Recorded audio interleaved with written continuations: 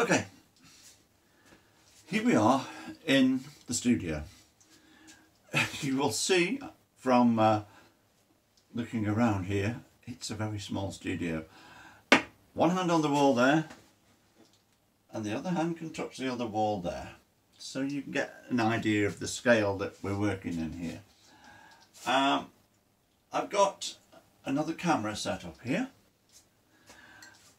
Well, I say another camera. Let's face it, what I've got is I've got another phone and another phone. I've always wanted to do this. I've never done this method before. So it's something new to me.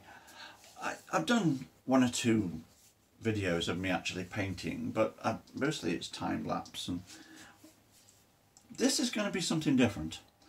I have wanted for quite some time to actually do a live painting demonstration and show you what I actually really get up to and talk to you and talk you through it at the same time. I've been watching people do this on YouTube for ages and I've always wanted to have a go myself uh, and I've toyed with the idea of setting up the cameras similar to the way they are, maybe setting up another one somewhere to do time lapse at some point, but actually being able to show you what I do. Please excuse the hum. And if there's any strobing, please excuse that too, because I am working well, it's dark outside as you can see through the windows, and I'm working under a fluorescent light, a cool fluorescent light. I'm just going to turn the lights off and on again. This is a strange thing, but it does stop them humming. So if I do that occasionally, it's uh, it's not some kind of technical fault. It, it's uh, it's me. Right, you can see the setup here that I've got. Actually, I think I've got it set up. Yes, I have got it set up so that actually on the screen you can see me on this little screen here that uh, I'm using to actually record myself talking to you like this. Um, you can see the painting and you can see to some degree the tablet that I've got up there that I'm working on, working from, sorry. Um, I hope you can actually see the painting clear enough to see what I'm actually doing. What I've got here is a 12 inches by 16 inch board, MDF board, 6mm MDF, so it isn't going to warp. Um, it's had a couple of coats of gesso and I've drawn out the basic map, the basic structure of the painting. It's not detailed. How much detail goes in in the end, that's up to me. But it, isn't a detailed drawing because I'm going to cover it all up. But what it's there for is to give me a map and as I draw it out to give me a chance to analyse the picture. Now, we're on lockdown.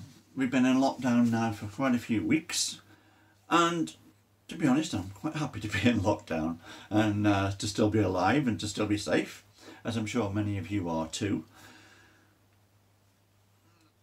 But of course we can't get out and paint and so we're painting today from this picture which is a picture by uh, that was taken by my friend Amber who put it on Instagram last week and I saw it and I thought now if I was painting outside on plein air that's where I'd like to be. So I said to said can I paint the photograph that you put on and she said yes of course you can. So here we go that's what we're going to do. Now the photograph gives me a different image than if I was sitting there with the sounds of the water pouring down over the rocks and the feeling of the breeze on my face and all that sort of poetic stuff. It's different. Plus the fact that the photograph is framing the image. Whereas if I was sitting there in real life, it'd be everywhere. And I'd have to sit and make a choice and make a decision. The decisions that I've got to make working from the photograph are different. For one thing, the photograph, and I'm pointing up here as if you can see it, I don't know whether you actually can. And I realise looking at this that you can't actually see any detail on there. So what I'll try and do is I'll point it out on the main painting and then maybe I'll edit in some shots of the photograph to go along with it. You're going to have to put up with these technical edges. This is an experiment, I've never done it before. What I've done is I've taken the opportunity while I'm drawing it out to look at what's important to me in that image. That's the point. It's important to what it's what's important to me that matters because there are loads and loads of different ways of doing a painting, aren't there? You could look at that image and you could see things in there that were important to you that would be different to the things that are important to me. You might want to flatten the plane in, in the same way that Japanese prints used to do and a lot of the Impressionists sort of tried to adopt. Or you may want to go off full on deep perspective. It's up to you. So what you're going to watch here is what I choose to do. And what I choose to do is I choose to take this opportunity when I'm drawing out to look and find the planes in the painting. We've got a plane here, that's the horizon at the top. You can just see the sky through the trees and the horizon's coming down. Then there's another path here, coming down and crossing and coming back here. I think it's a path. It's hard to tell. It could be where the stream's coming down. It doesn't really matter for the sake of this picture, it's a plane and there's another plane there and very nicely there's a, a log lying down here that's fallen down uh, which is delineating that plane even more. And then of course we've got the water coming down here over the rocks. We've got the trees here. We've got some more rocks some fallen leaves and all that sort of thing. That's what's there. It's basic. There's not a lot there, but then again, there could be too much if you decided to really go to town on it. So what I've actually done is I mapped out the basics and where you can see it hatched here, when you can see scribbled in, hatched, what I'm putting in there is the dark areas. The dark areas that are going to allow me to actually get the depth into the painting first. These are going to be the deep darks. And what I'm going to do uh, now, well, let's start. Tell you what, I'll start putting some paint on. Down here, though you can't see it at the moment, I have my palette laid out. I've got basically most of it's alkyds. I've got four alkyds and I've got two oil colours because, no, actually five alkyds, including white and two oil colours. I like to work with alkyds or at least with oils mixed with liquid when I'm working like this because working fairly thick it can take a long time for that for just pure oil paint to dry. So working with the alkyds or working with the liquid alkyd medium speeds up the process and allows me to get more immediate with the work. So let's put some paint on. We've got lamp black, we've got cobalt blue, we've got a gen, an, an ordinary oil burnt umber because I'm running out of alkyd burnt umber. Uh, we've got uh, terre verte, raw sienna and cadmium yellow. This is what I'm going to call a lockdown palette because it's not necessarily the normal palette that I would work with but I've run out of quite a lot of colours. So this is what I'm using and this is what I will use as we go on. So what I'm going to look at first is I'm going to look at the dark areas and I've just got some lamp black here on the uh, on the knife and I'm just going to put in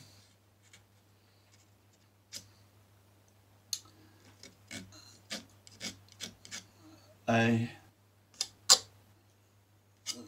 limited amount, just a small speck here and there of where the dark areas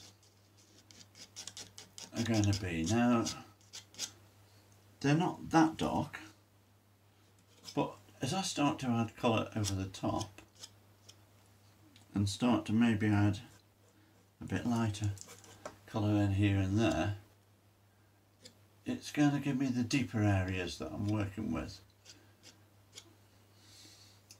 On the tree here, we got a patch there that's really dark. We've got an area here that's darker there's a hole in the tree. There's another bit there and some more coming down here. It's not exactly the same shapes that I'm seeing at the moment. It's just basically roughing in where those dark areas are and getting some depth in That's it. Where I want it to be. Because I working this way I can I'm going to be putting layer after layer after layer of paint on. So at the moment we don't need to be mega accurate as much as we need to try and keep it loose and that's one of the most important things that I'm finding with this, uh, with this method of painting that I'm using at the moment, is I'm trying desperately to keep it loose. If any of you have been following me for uh, the last few years, you will have seen me do quite a lot of watercolours because that's for quite a few years. That's mainly what I was doing. And you will have noted that my watercolours are really quite detailed, quite tight, I would say. And after a while of doing those watercolours for uh, so long, I got to the point where I was getting really quite, quite sort of fed up, quite tired of doing so much detail. And I realised that the paintings that I look at, the paintings that impress me, if I walk into a gallery, they're not those fine detailed ones, that, like the ones I was doing the ones that impress me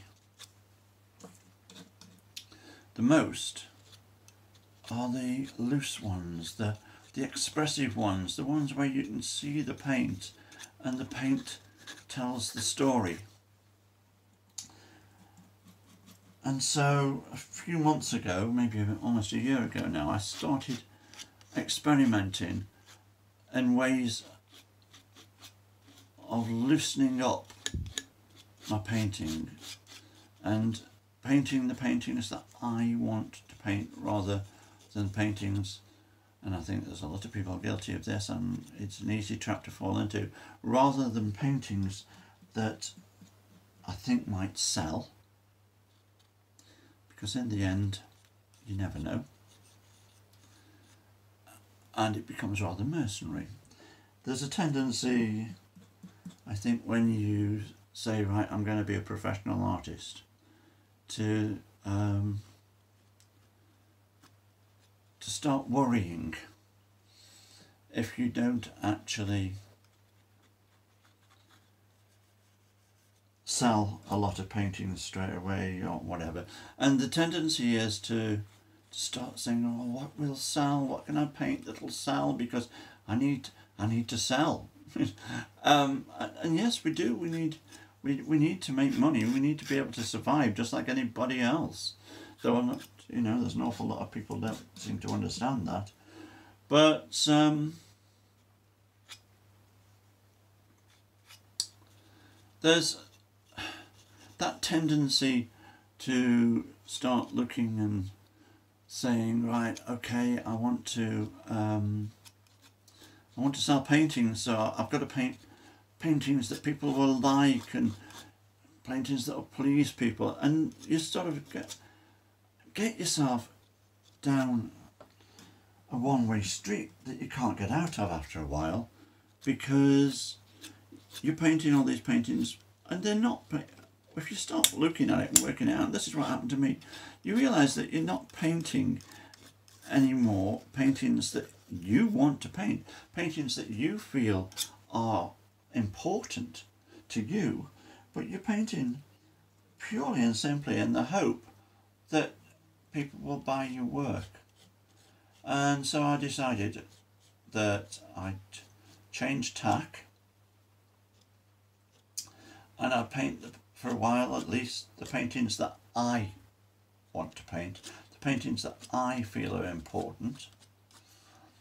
And hope that other people are going to like them enough to want to hang them on their walls. So that's what I've been doing and it's been a, a strange slow journey because uh, for quite a while I've been working under the basis that these paintings being so different from what I was doing before and being so much looser than I was doing before. These paintings needed to be seen in the flesh to be in really experienced rather than um, just little photos on the internet. So to work that out and to work through that I started to try and build up a collection. I went out and even went out and bought myself a table saw so I could learn how to make my own frames cheaply and frame them, which I've been doing, making frames to put them in with the idea that I would then approach galleries and say, uh, actually, would you be interested in representing me? Would you be interested in selling my work? And all the rest of the stuff that we have to do to try and sell paintings. Uh, and I hadn't done that for some while. I've been working exclusively online uh, with the watercolours and um, so that's what I've done and I put together these few paintings thinking okay I'll take them to a gallery owners and see what response I get and all that sort of thing.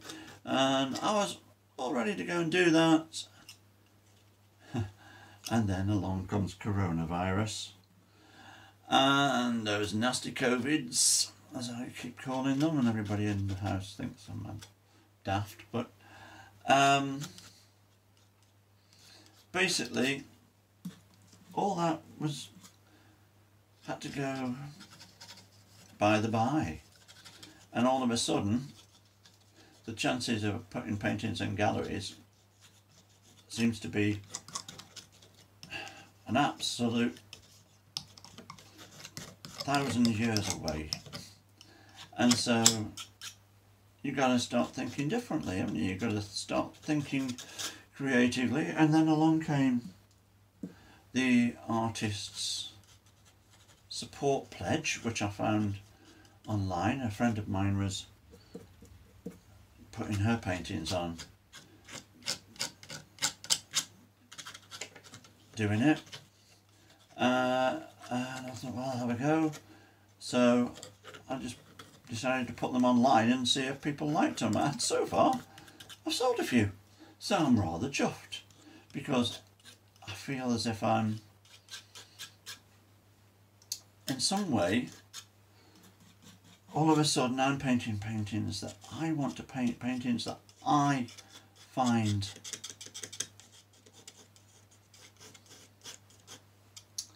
um, that, that to me are that? There, that's it. Paintings that to me are really well paintings that I feel passionate about let's put it that way. I'm painting those paintings and putting them out there saying, do you like them? And people are going, yes, I like that. I like that on my wall. And, you know, it's... Uh,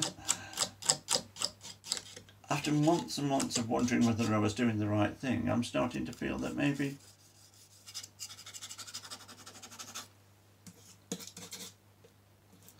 maybe I was doing the right thing, I'm doing the right thing, whatever. Starting to get a, a feel for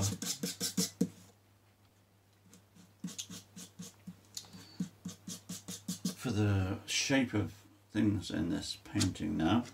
Um, I know I'm sort of rambling on about other things rather than painting, which is, I hope it's um, not too uh, boring, I suppose, but there's there is a limit to the amount of things I can say about putting dark paint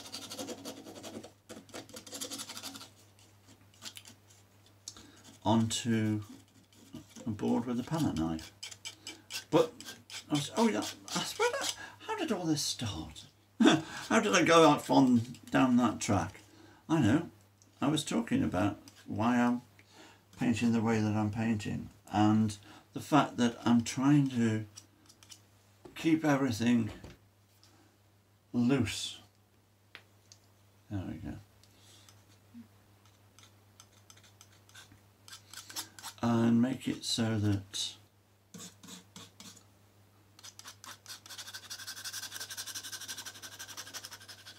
that's it. Make it so that I basically I'm trying to stop my natural inclination to I'm not going to say overwork because I don't think my paintings are overworked but to include an awful lot of detail. And when I first started to paint after a long break back in the 1980s, I had, I found I had to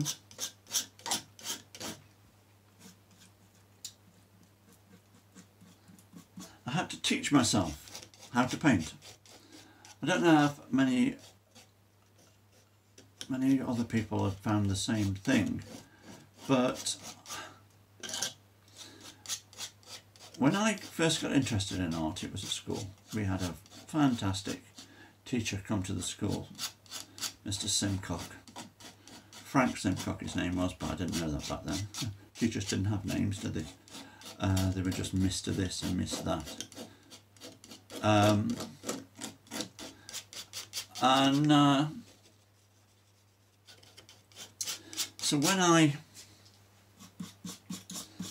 and he was he was fantastic. He really was a an inspirational teacher, and I spent the last two or three years at school just in the art room nearly all the time.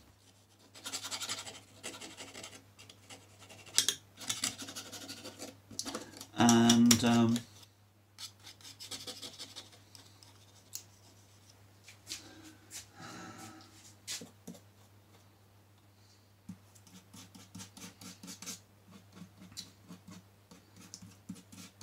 he taught us all sorts of great techniques. He was, he was a fantastic inspirational guy. Um,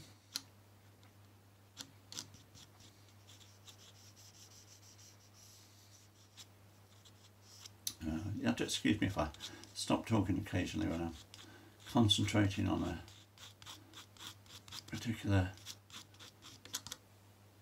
part of the, the scene. But um, no, Frank Simcock, he was a wonderful, inspirational man and he really got us into interested in art. Uh, then I went on and went to sixth form and I studied art at sixth form and again, it was great. To be honest, I, I, they challenged us. We used to paint from the model two or three times a week, and they pushed us. They made us try different techniques that took us out of our comfort zone, and all that sort of thing, which I always thought was a really good way of doing things. Um, and it was an art education I was really glad that I had. Uh, then I went to went to college to do a degree in drama and art, and spent another eighteen months before I dropped out and went to work in the theatre instead. Uh, and I spent quite a bit of time painting and doing art there. And then time went by and for years I didn't paint. I was too busy. And the only thing I painted in all those years, I painted a six foot tall cornflake box for a pantomime and that was it. Uh, then in the 80s I, would had enough of the all the theatre work and the long hours and all the rest of it and I decided I wanted to paint again. And I realised at that point that nobody in all that time of doing art nobody had taught me how to paint in watercolours and nobody had taught me how to paint in oils and so I had to start again from scratch and find my way, find my particular interest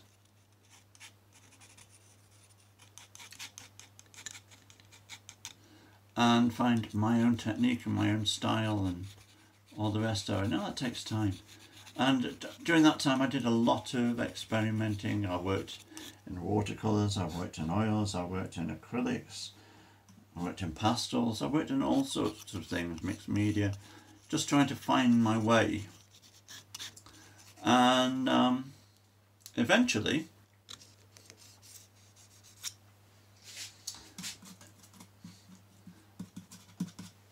I worked my way around to watercolours and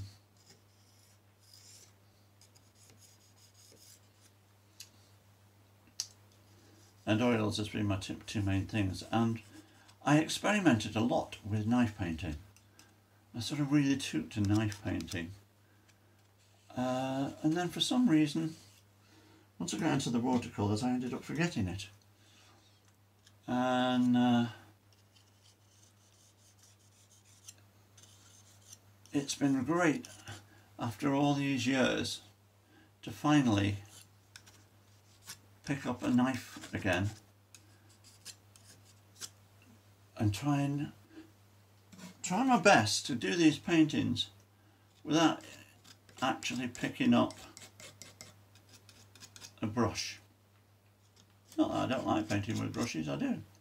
But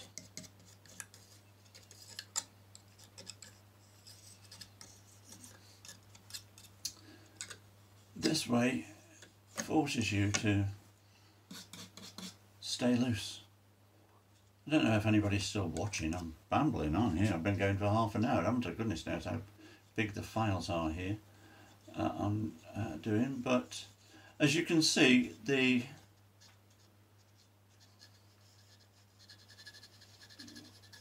what I'm doing is I am laying in as I lay in the dogs. I don't know whether you can see a picture emerging, but what matters I suppose is that um, is that I can. And let's stand back a little bit. One of the things about working in this studio is it's so small that you and you can you can get very wrapped up in what you're doing. And the tendency is not to stand back and as anybody will tell you that is something that you really want to avoid because stepping back is the only time sometimes that you really see what you're doing. So I'm going to pause for a second and step back and have a look at it. See what I'm what I'm doing here.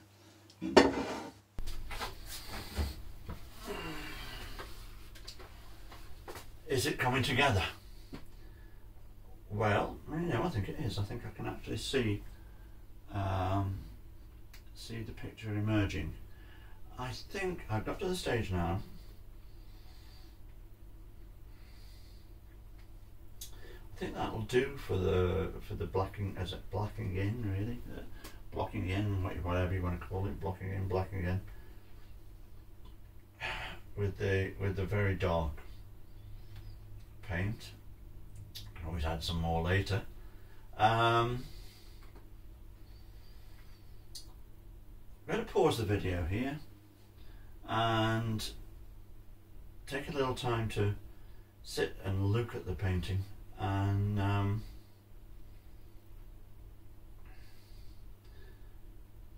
let it let it form itself in my head. That's as important as anything else, I think.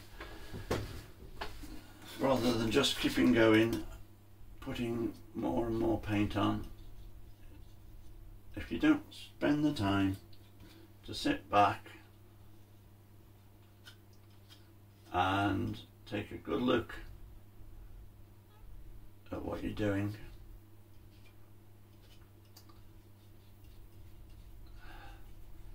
then all you've done is just thrown a load of paint on. There's got to be some thought in there, isn't there? Otherwise you you don't really know what you're doing. But I'm quite happy with that so far. Let's pause for a little while. I'll be back in a minute.